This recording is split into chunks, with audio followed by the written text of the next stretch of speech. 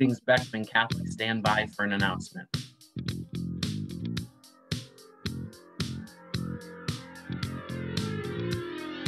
Plows with the snow off the roads and streets with the hope that schools can go. The snow and ice just can't be beat, and that wind just blows and blows. Are you ready? Are you ready for this? Are you hanging on the edge of your seat? Don't get dressed, head back to bed. A snow day will repeat.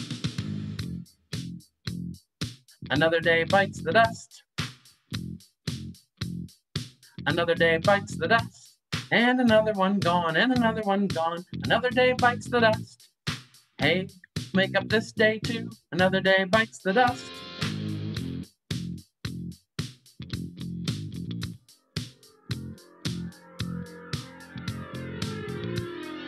Having school days is really great as we want to move along. The snow and wind are just too much, so we'll take another pause. Are you happy? Are you satisfied? How long will we be away? Don't get dressed, head back to bed. Another snow day today.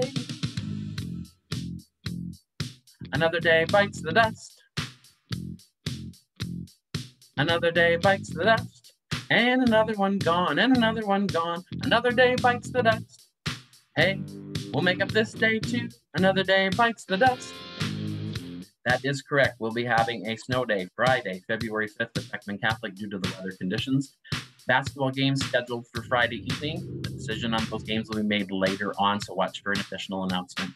In the meantime, stay safe, enjoy the day, and we will hopefully see you on Monday.